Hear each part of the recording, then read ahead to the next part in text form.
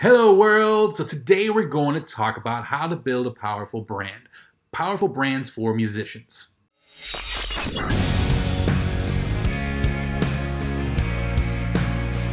Hello, everyone. So, this is going to be something new that we're hoping to start on regular basis for Making It with Chris G. So, we're really on podcast this week, so I wanted to deliver some additional content for you guys as as a thank you for being a loyal audience, for being here every week, and don't want you guys to not have anything to to learn this week, and want to have some really great information. And this is actually something we want to do. So this is a, a motivation to start start this now, right? As Greg Rollett said, ready, fire, aim. Like stop waiting, just start doing. And we'll have actually a clip from that a little later on. But uh, this is from one of the lectures that I usually start my classes off at FIU, Full Sail, or whenever I, I teach somewhere at, at a university or college or guest speak somewhere. But branding and story is the foundation of music, it's the foundation of business, uh, it's the foundation of anything because you need a powerful brand and a powerful story to lead people to the music, right? So, unfortunately, music is the last thing that matters until people hear it, and then it becomes the only thing that matters. But we gotta lead people to the music. And we don't need to emphasize a ton of time on branding and story, but getting that foundation locked in is really, really important and just being very consistent with that foundation. So, what is branding? What comes to your mind when you think about branding? Think of your favorite musicians or your, one of your favorite musicians or favorite bands, and or first one that comes to mind. And when you think of them, what is the first thing that comes to mind? Think of some some characteristics, maybe some words, some sentences to describe them. What comes to mind? And whatever you just thought of, that is branding, right? Was there something that they did that made you think of these things? It's probably something they have done on consistent basis over and over and over again. So what I always like to say, if you're trying to build a brand to be the next Oprah, the next Mother Teresa, but you're constantly getting into bar fights, uh, you're probably not going to build that kind of a brand, right? You're going to be known as the idiot that gets into bar fights. So branding is your consistent behavior, what you consistently put out there into the world. So today we're going to look at a couple of rules to help you build a powerful brand, to help you get one step closer to to making it, uh, to build that powerful brand. So we got nine rules. I'm going to share a couple stories and a couple clips. Some of the clips come from the podcast, and there's two clips in there that are not necessarily from the podcast. Um, just taking a risk at putting those in here. I'm going to obviously give them, give them credit and where they come from, but um, and references on all the clips and everything that you see in here will be below in the description of this video. So make sure to check those out to learn more. But let's dive in. So the first rule that I have for building a powerful brand is to narrow your focus. You have to be really dialed in on what it is you want to do. You can't be everything to everybody. So when you first start out, it's it's super important to just focus on one or two things and consistently over delivering those one or two things to your audience. You can't do everything. So when you look at people like like Jay-Z or Beyonce or these these crazy entrepreneurs, they're doing so many different things. They've already have a, a built-in business, a built-in team. They have the finances and the resources to do many different things. But when they first started out, they were laser focused. They were super dialed in on what they're doing. So I have a, a case study for you or a story to share. Um, so here's a picture of Mike Stud performing at the Social in Orlando. I went to this show, not necessarily a Mike Stud fan, but I went with Greg Rollett. We wanted to go see a cool show, and I was just very inspired by his story and how he's really built his brand. So Mike Stud started off as a baseball player. He was a high school star, basketball and baseball player. Then eventually became the pitcher for Duke University, and he had a career changing injury that prevented him from taking his dream to the next level, from going to the pros. So he decided to pursue his other passion, which was hip hop and rapping. And in 2011, he started doing music full time, and the, he narrowed his focus on hip hop that is focused on the college lifestyle and sports, right? So everything that you see within his brand has to do with sports, the college lifestyle, and, and hip hop music, just having a good time. So he was really narrow on his focus and build a really great audience with that. And it was very consistent with his content and had that narrow focus in his content too. There's several videos where there's sports and the college lifestyle in in his brand. So you want to narrow your focus. don't try to do everything in the beginning. Become really good at one thing first and be super consistent with that. So here's a quick clip from Gary Vee and Chase Jarvis from a live uh, conference they did or live talk they get, did at Photo Plus. So check this out. Here's an incredibly optimistic thing to do. This is exactly the moment for you to take a step back. If you feel you're in a beige or you're vulnerable, I've got something really fun.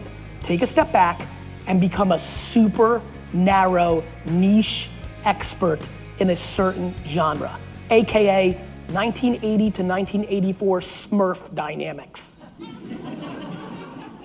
and this is gonna be really fun, because if you love your craft and you have other interests, this is where you get real, real, real narrow. Let me give you something super weird. I take photos of high school wide receivers.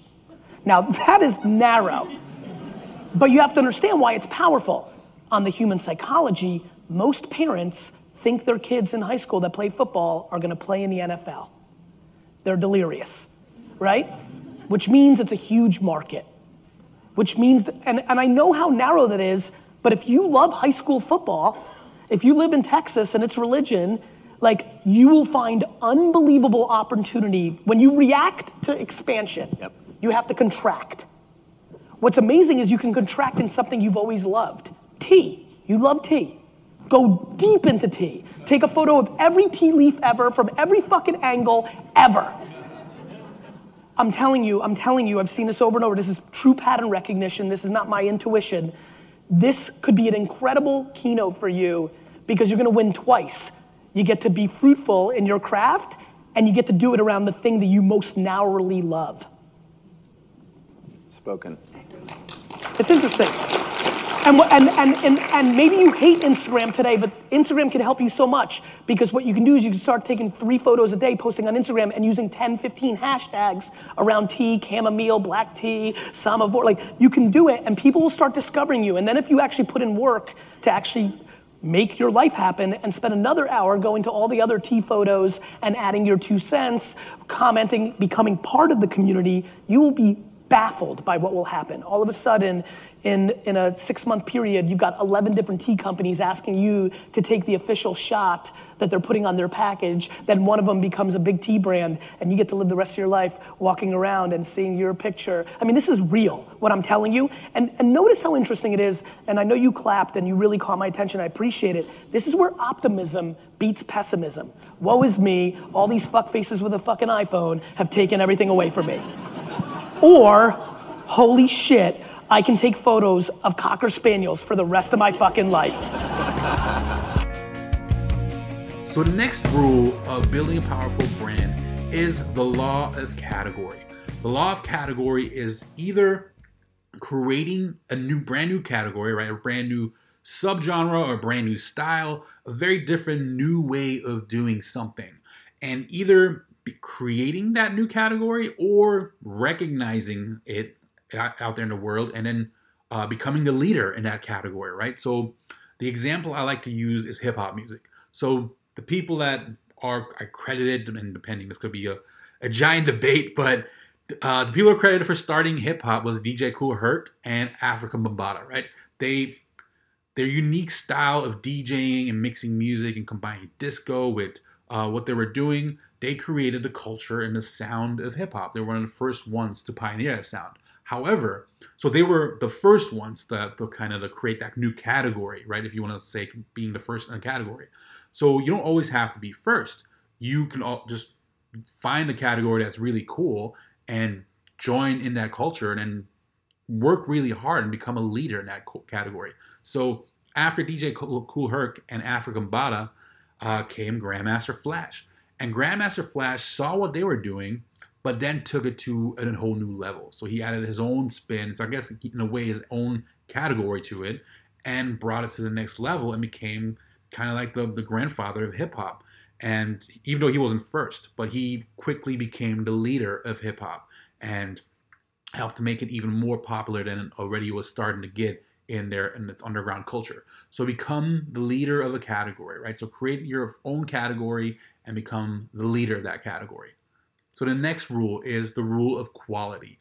Whatever it is you do, whatever your, your niche is, if you're a songwriter, if you're a musician, if you're a manager, a booking agent, whatever it is you want to be, go all in. Like the Malcolm Gladwell rule of 10,000 hours, try to as quickly as possible get your 10,000 hours in, right?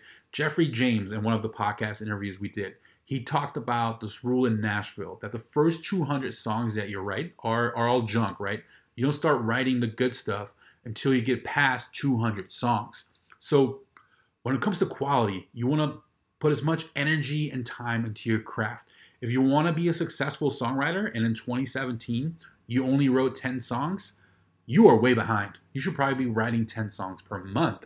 Um, if you look at some of the most successful songwriters out there, I had a, heard a really cool podcast with Chris Stapleton on the Joe Rogan show, and he talked about how he had three writing sessions a day, um, five days a week, right? So writing 15 writing sessions a week, and he got to a point where he had over a thousand songs, and that, and it took him 16 years to get to where he is at today. So it took a very long time. And if you look at some of the most successful songwriters out there, if you look at the charts, all the most popular songs, you want to be one of the hit makers, writing at that level, you have to write as much as possible. Those guys are uh, and girls are collaborating with some of the best musicians in the world on daily basis. They're always writing. So to be the best musician, the best songwriter, always be working on your craft. Practice your live show, practice your instrument, practice your songwriting as often as you can. Make the time because that's the most important thing. And here's a quick clip from an interview that not one of my interviews was an interview with Dave Grohl that he did for Drummers World. What would you tell four guys in a garage that had a good batch of songs? What would you tell them to do today? Go play live. Just play live. Honestly, if you're good at what you do, people will recognize that. I really believe it. I really believe that going out and playing good songs live as a great live band will make you successful. I really think it will. And it doesn't matter if you're at the shithole down the street or you're on the side stage at Bonnaroo or you're headlining Lollapalooza. If you're a great band with great songs, people will notice it. That's it. All right, so here is the next rule. The next rule is the rule of visuals.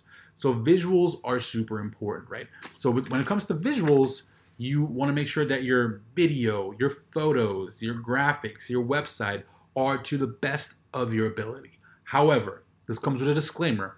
When it comes to the best of your ability, you don't want perfectionism to hinder you from doing anything at all. The best thing to do is to just go. So there's this concept of ready, fire, aim. And we're going to hear a clip from my, my first podcast interview, actually, with Greg Rollett in just a second. But when it comes to visuals, you want put out the best quality photos, the best quality video, the best quality logo, um, the best quality website that you can. However, just start. Just start with whatever you can. We have the luxury of having these amazing cell phones uh, where we can take great 4K video now. You can do really high quality photos. You have no excuse to not start doing right now. You don't need the perfect equipment to get started. Just start doing.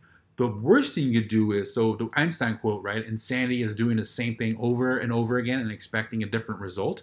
So if you start using your iPhone or your your Samsung, whatever phone you have, and you start doing video and photos, but that's all you ever do and don't ever get better, that's insanity, right? So start using your phone and putting out the best quality videos you can and then each time try to get better try to use better filters try to make sure you wipe your lens something herb said in one of our podcast interviews right? So take your lens and your shirt and maybe your shirt's not the best thing to wipe a lens but wipe the lens and then take a photo. Um, so simple, simple things like that. Use better filters and slowly start upgrading your gear and start upgrading your lighting. You're upgrading your camera. So you have better quality visuals. So here's a quick clip with my first interview with Greg Rollett and where he talks about the concept of ready, fire, aim. For most of us in, in the context of what we're talking about today, if you try, I think people are scared to fail. Yeah. But the truth be told, if if you start this podcast and you do it for 90 days and no one listens, no one's even going to remember that Right. 92 days from now. Right. Like the worst case scenario is you just recorded 90 days worth of episodes, met awesome people, had great conversations, and you built your network. Like that's Right. worst case scenario. Yeah. And I think most people's worst case scenarios, they play it out in their head like, oh my God, no one's ever going to talk to me anymore, or I'm going to embarrass myself, or dude, I don't remember like what I watched yesterday or listened to yesterday. and so we're very forgiving people. Uh, there's really nothing to be afraid of. You know, when you put your music out there, no one watches your video. No big deal. Like Yeah. that's the worst case scenario. When in context of like, should I go out and like, for me, it was when should I quit my job and start my business full time? Hmm. And again, I think we're scared about what's on the other side of that. What happens if I fail? What happens if my business doesn't do well? What happens if I go on tour and it's a complete disaster? Well, guess what? When you come back, you can get your bartending job again. Yeah, you know, exactly. or you can get a different bartending job. You know, like that worst case scenario for most of us. Now, a little different position I'm in now. Like I got two kids, I got a wife, I got a more like I'm in a different situation now than I was when I was 23, Right. 24. You can't just take a full on risk and like let everything go. Like you still have some kind of responsibility now that you have to. Like, Right, but if you're aware of. 20, if you're high school, college, just out of college, even mid 20s into late 20s, and you don't have that that overhead or those responsibilities, the worst thing that can happen is you go back to where you are now. Right. You know, like people are like, well, I'll never. Well, yeah, you can just go back and get the job. Like, you know, you're working at like Kohl's. Go get a job at you know Walmart. Like it's you know, Yeah. it's so I think that's the biggest thing. To to your point about like just get started is yeah, just get started. Give yourself. Uh, so we talk about Tim Ferriss, someone we both really like and respect. So he did uh, when he first launched his podcast. I don't remember the exact numbers, but it was I'm going to do four episodes or I'm going to do eight episodes. Right. I'm, I'm going to see what happens. Yeah. Now it's turned into a million dollar plus business for him. been podcasting, several years now, and it's yeah. been several years of it. Um, but give yourself those limiters. Say, all right, I'm gonna like for you, you're gonna do, you're doing this uh, huge Twitter thing right now, and it's Mm-hmm. freaking awesome. But you're like, I'm gonna commit to it for 12 weeks, and if at the end of 12 weeks, I'll reevaluate. Like, was this good? Was this productive? Did it help grow my business? Did it help not grow my business? And I'll make a decision. But you do it for 12 weeks. Well, guess what? Now you got 12 weeks of data, new fans, people that know you, that don't know you. You're getting new introduction. Like, just you have to get out and start. Well, when to be an entrepreneur, you kind of have to fail to like to learn from your from your mistakes and to like build that business that you want to build. I mean, shoot, you've built built several businesses since I've known you, and Yeah, and not all of them are successful, right? Of course not. And um, you know, here's the thing. So, talking about failure, I don't set out with the intention to fail. Right, Right, I, I think that's the wrong mindset. There's a lot. If you go go to like Instagram and you see these motivational quotes, and it's like you have to fail so you can learn. Like I don't set out to fail. Like I Yeah. don't want to. Yeah, fail. nobody- nobody Like, wants to fail. I want your. Twitter thing to go great. I want my TV show stuff to go great. Um, but you do learn from some of your mistakes and you make them better. It's okay to pivot. It's okay to change a little bit. Even with ambitious.com, we're just a little over a year old.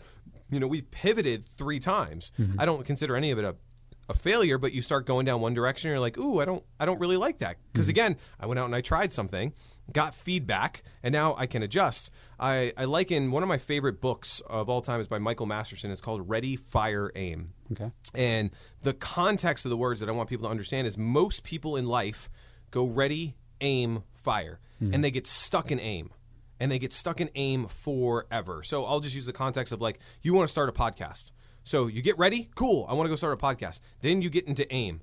Oh, what microphone should I use? And that's like six months of like going to Guitar Center and looking at Amazon. questions and should I ask? Who Googling should I talk everyone. to? What questions should I ask? Who should I interview? Uh, what should the name? Oh, for God's sake! Like, what should the name of my show be? You can agonize over that for like months. Yeah. And then the artwork, and so we get stuck in this aim forever. As a musician, again, it's like, hey, we want to go out and we want to record a new album, and then they get stuck in aim forever, which is, well, let's write new songs. Well, I don't like those songs. Let's write more songs, or let's go and record them. Uh, let's re-record the drums. Up, let's. I don't like the bass line. Let's re. And all of a sudden, two years have gone by. You don't have an album, and the fans who liked you two years ago don't care about you anymore because they've moved on. Yeah. And so Ready, Fire, Aim says, let's get ready, let's throw it out to the world, and let's get real world feedback. Like, even if it's not like so in my band's case, uh, when I was doing the music thing, like something, like we recorded that CD in like seven days or something. Right. Like super fast. We did the artwork. I like called a buddy. We made the artwork in one night. We launched it. Was it the best album in the entire world? No. Like I don't think the recording was even that good. But guess what? We got to put a thousand CDs in people's hands, and we got to get feedback, and they would show up to shows. And so again, it doesn't always have to be perfect, Right. but you don't get anywhere if you, never just- do you anything. gotta So next is the rule of collaboration. This is something that happens all the time in the world of hip hop, the jam band world, and songwriters at the highest level. They're constantly collaborating, they're constantly working with other people to push their skill level to the next level. So what I say all the time is if you're starting out musician, starting out songwriter, You're not gonna write with Max Martin and the best songwriters in the world right out of the gate, right? The best thing you can do is find one of your peers, so another songwriter or another musician, and just collaborate with them. If it's someone that wants to get better and you want to get better and you work together and want to make each other better, then you're going to raise the skill level of yourself as a songwriter, as a musician. So collaborate as much as you can. Collaborate with like-minded people, collaborate with people with from different walks of life with different ideas and just challenge yourselves to become better songwriters, better musicians, better marketers, better managers, whatever field it is you go into. You should always try to collaborate with others.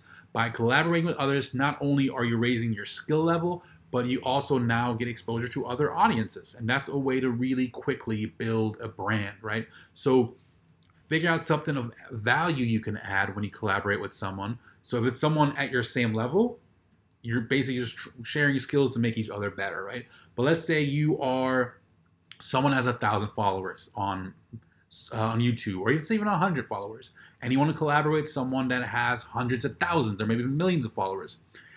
Most of the times, you're probably going to get laughed at when you approach them and want to collaborate with them. However, if there's something of value you can bring to them, if you are a really good graphic designer, you're good at video editing, editing, you're a good photographer, if there's some kind of skill that you can bring to the table that you feel like is a need to them, then approach them with that skill. You can send them a message on Instagram or send them an email or whatever it is and say, hey, uh, really like what you're doing. Here's, um, I feel like I could really help you with your photos or your videos or your, your graphic design. I'll do it for free. I'll commit to the next three to six months to deliver one design per week. Um, you have full creative control. Don't feel obligated to use anything I provide, but I would just love to collaborate with you on a song. I would love to have a co-write session with you in exchange. So it's simple as that. Or you could pay for someone to collaborate with you, right?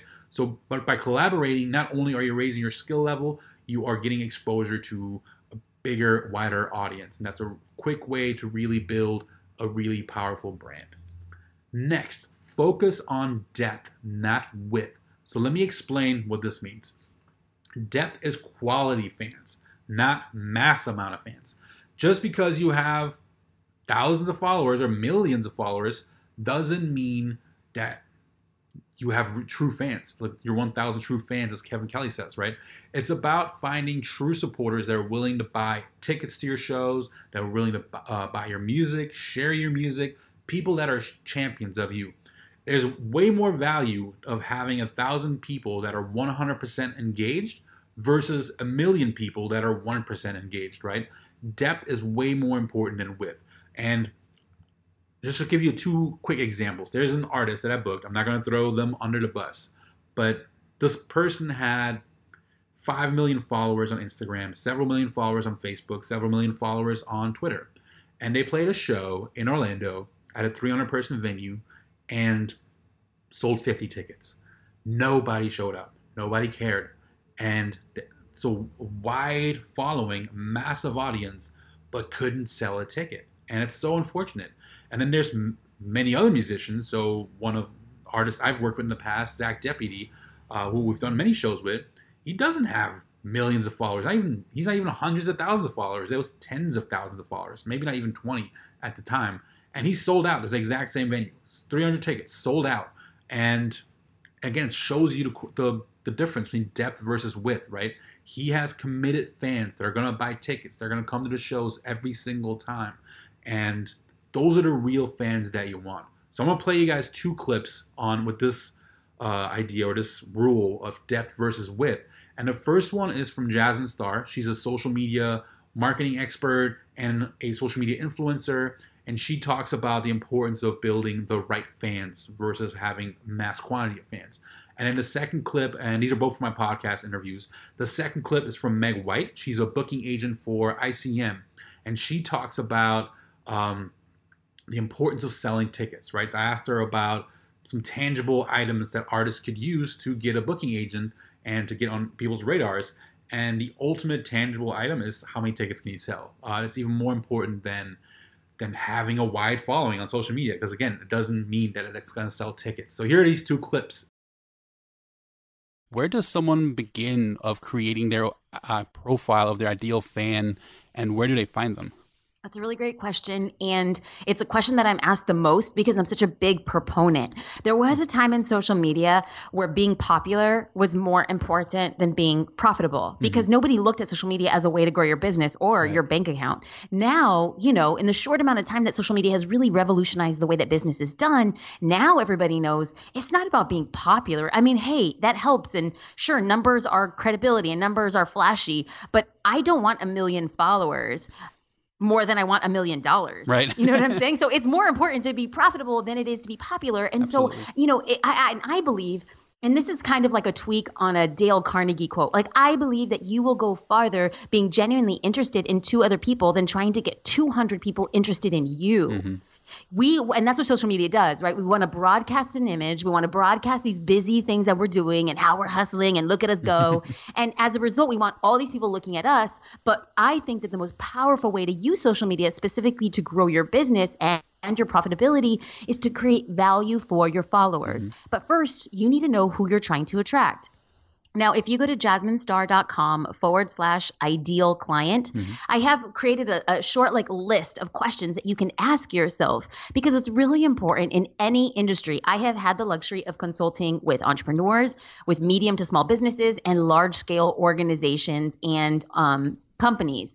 And every time we start the conversation, it starts right here who is your ideal client and who are you trying to attract? Because once you know exactly who that person is is it a male a female? Are they between the ages of 20 and 25 or 40 and 45 Right. big difference. You know what platform what social platforms are they going to be on? Where did they last go on vacation? What's the last youtube search that they have? Where do they normally shop? How do they spend their free time? Do they subscribe to magazines or digital fare? Like there's a lot of stuff to get into the minutia of understanding because once you know who that person is then you can create marketing content you can create branding collateral. You can um, start online conversations that are going to attract people who will ultimately turn into customers and that is the key. You want to get noticed start talking to the right people. More tangible things. I mean, socials are so difficult because there are artists that I love and whose shows that I've seen that I love that their socials just aren't there yet because it's such a weird mishmash of things that you need to have to to make it and I tell my artists a lot of the time there's no perfect formula either because there isn't one. you know, you could just get lucky and somebody hears a song and hey, there you go. Um that's really popular in the hip hop world. You get one song in the club and it goes quick. Um but yeah, socials socials are a tough tough thing because you would call that a tangible thing, but it's not because Right. just because your social numbers are high doesn't mean that you're going to go out and sell tickets and that's my agent brain working um you know because managers or other personnel i know that a lot of a and r are looking at socials right now but to a degree some of that stuff can be bought Right. um, so you don't know how tangible that is. So that doesn't necessarily mean ticket sales, which is one of the most tangible things out there. Because if you can sell tickets, you're clearly you're connecting with people. Um, so I guess just to reiterate that, then I the most tangible thing is that if you're going out and doing shows, especially in your home market, and you're selling a lot of tickets, that means people are paying attention. They like you. You're connecting with them. Where else can you do that? Can you continue to build that locally? So the next rule is putting yourself in a box and temporarily, not not forever, but you have to be able to describe your brand, describe your music. So you have to put yourself into a box so others can understand what it is that you do. So with this, we're gonna play, we're gonna do a little activity. We're gonna play a game. But before we do that, here's a quick clip from my interview with Greg Rollett where he talks about this concept of putting yourself in a box. And then after that, grab a pen and paper and be ready to work on an elevator pitch to describe your music.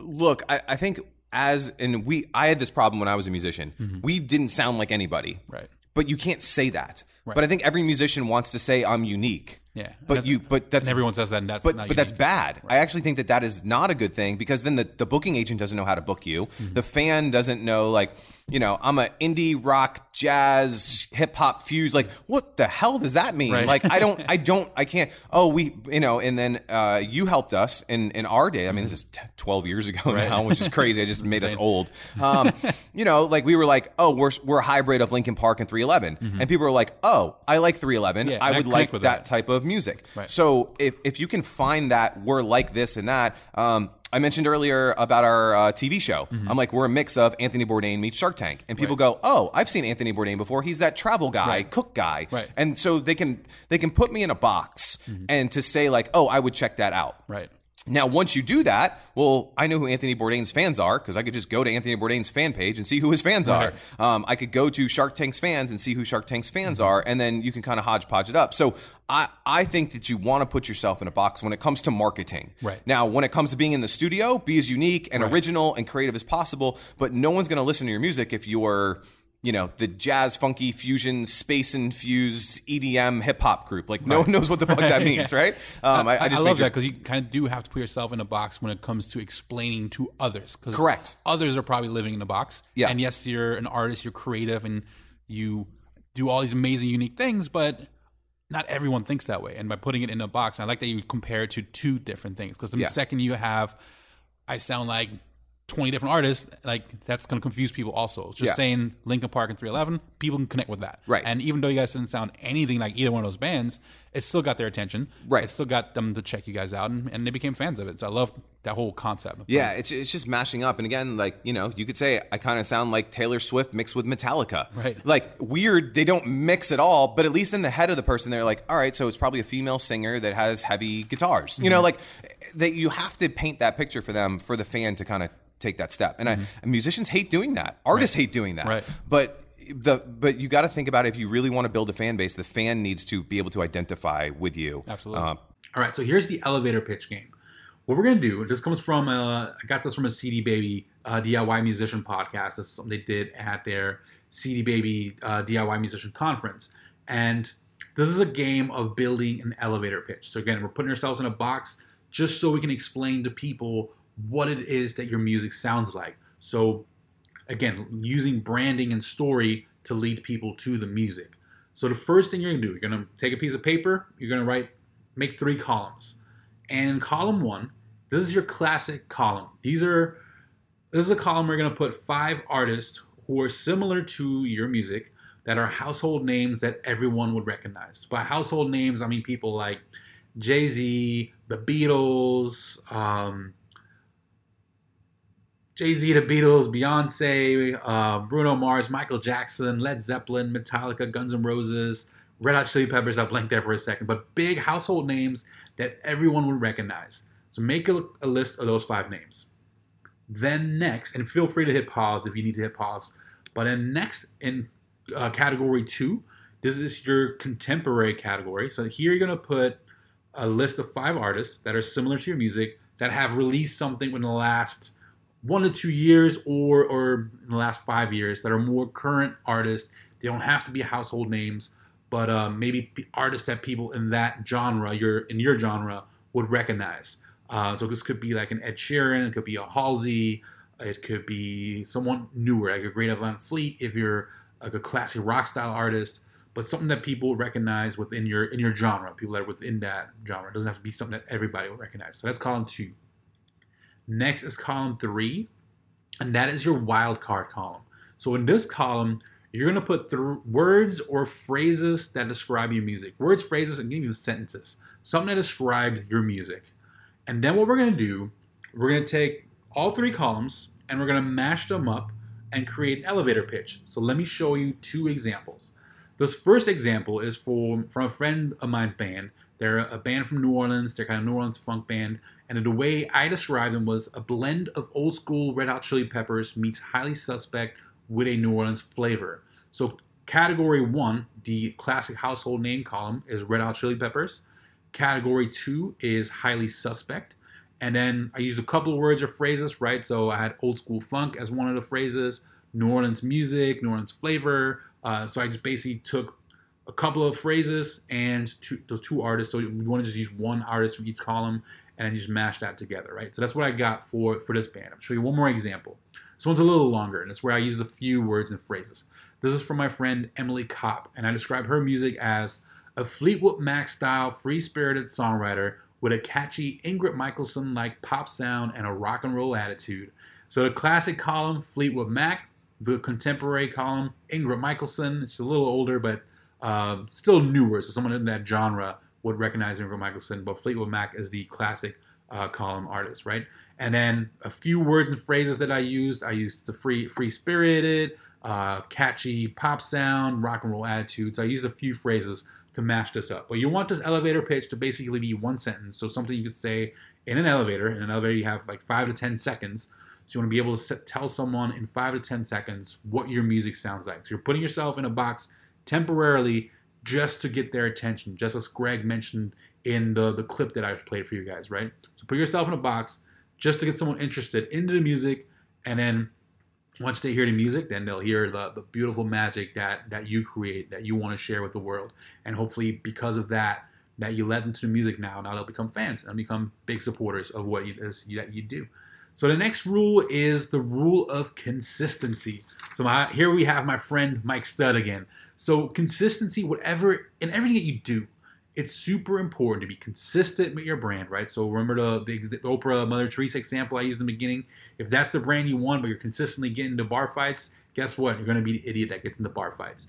When you want to build a powerful brand, it's important to be consistent with that brand. So consistently, you want to uh, put out music. You want to be consistent with your visuals, consistent with your collaborations, all the rules that we talked about. Consistency strings it all together and you want to consistently put out content. So, using my friend Mike Stud again that we talked about earlier, he's super consistent with everything. So, when it comes to his merch, here's a picture that I took at that show from his merch, and it all matches that sports and fraternity, college lifestyle culture, right? His merch is on point. And that other, the picture next to the merch, that's a picture that he took the day he was in Orlando, and he posted that on Instagram. When he was in Orlando, he went to a store called Trophy Room. That is the store from uh, Marcus Jordan, the son of Michael Jordan. He was a basketball player for uh, UCF for the Golden Knights, and uh, he has his own store in in Orlando at Disney. It's called Trophy Room, and Trophy Room is a sports memorabilia store. So even his promotional photos, his day of show promotional photos, is him at Trophy Room shopping and with the big shopping bags of stuff they bought at Trophy Room. So even that is consistent with brand. And not sure if this was on purpose or probably not, but his girlfriend in the picture. She's the daughter of Jose Canseco, legendary baseball player. So like even his girlfriend is consistent on brand. I don't know if he's if it's still his girlfriend today, but at that time, that, that was his girlfriend, and hopefully the, they're, they're still together and in a very exciting, happy relationship. But that's not what we're here to talk about today. So consistency is the key. And in this next clip, I'm going to show you a clip from one of my favorite marketers, Joe Pulizzi, who has some amazing books on marketing, Killing Marketing, Content Inc., Epic Content Marketing, and he talks about the importance of consistency and the importance of content and the importance of being consistent with that content. And that can be a whole nother video and discussion, but I just want you to think whatever it is you do, whatever you do, just want you to be super consistent with that. So here's the clip by Joe Pulizzi.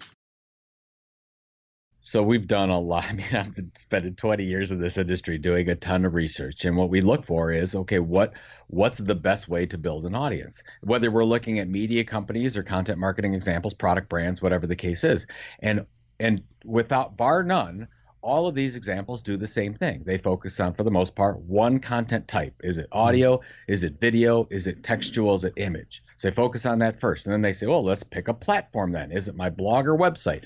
Is it YouTube? Is it iTunes? Then they consistently deliver. So let's say that your musical group is starting a blog and you mm-hmm. and I say, well, how many times are you going to blog?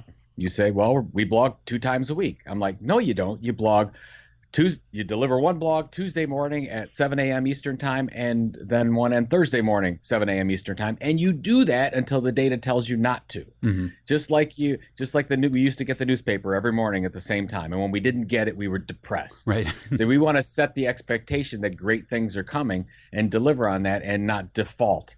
Where that's what a lot of uh, A lot of music groups do it. A lot they basically were inconsistent with our communication. So consistency is really really key. And then it takes time to do this. So if you said, "Joe, I want to do this content marketing thing. I've got like 6 months." I would say, "I can't I can't tell you you're going to get any results in six months. Mm-hmm. I mean, maybe some qualitative information, but it really takes 12 to 18 months plus to really build an audience, Mm-hmm. a loyal, trusted audience. So those are the four things. Wrap that in a bow where do you actually have a differentiated story? Are you delivering valuable information that's different than anything else out there? And that's what we've seen. So look back in your traditional examples. Look at what the New York Times did. Hmm. They started with a print um, newspaper. Look what Huffington Post did. They started with one blog. That was it. Now they've got like 400, 500 blogs, but they just started with one. Whether you like Rush Limbaugh or not, he just started with a radio program. Right. You know, those are your, our sort of our traditional media examples.